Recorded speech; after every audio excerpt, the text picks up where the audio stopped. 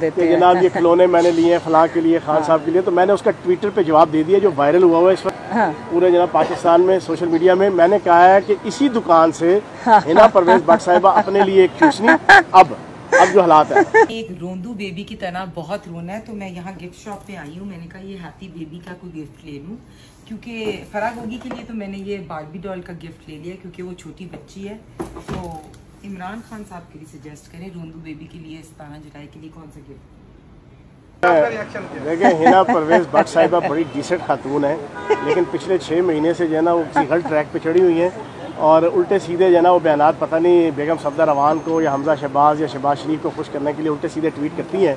उनकी कोई कल वीडियो एक सुबह ही सुबह वायरल हुई है कि जिसमें वो खिलौनों की दुकान पे जाके भी कह रही हैं गिफ्ट कर देते कि जनाब ये खिलौने मैंने लिए हैं फलां के लिए खान साहब के लिए। तो मैंने उसका ट्विटर पे जवाब दे दिया जो वायरल हुआ हुआ है इस वक्त। हाँ। पूरे जनाब पाकिस्तान में सोशल मीडिया में। मैंने कहा है कि इसी दुकान से हिना परवेज भट्ट साहिबा अपने लिए एक चूसनी। अब अब जो हालात है। हिना परवेज भट्ट साहिबा उसी दुकान से आपने अपने लिए एक चूसनी हमजा शहबाज के लिए एक छुंछना हाँ। और बेगम सफदर अवान के लिए सोलोशन टेप लेनी है। और सोलोशन टेप किस मकसद के लिए लेनी है? सोलोशन टेप बेगम सफदर अवान के मुँह पे लगाने के लिए लेनी है ताकि रोज की जो उनकी टाटा है, जिससे सारी पाकिस्तानी अवाम तंग उससे जान छुटेगी बहुत शुक्रिया।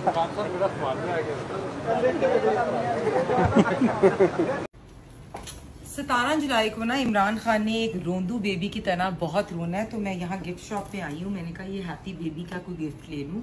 क्योंकि फराग होगी के लिए तो मैंने ये बारबी डॉल का गिफ्ट ले लिया, क्योंकि वो छोटी बच्ची है। तो इमरान खान साहब के लिए सजेस्ट करें रोंदू बेबी के लिए सतारह जुलाई के लिए कौन सा गिफ्ट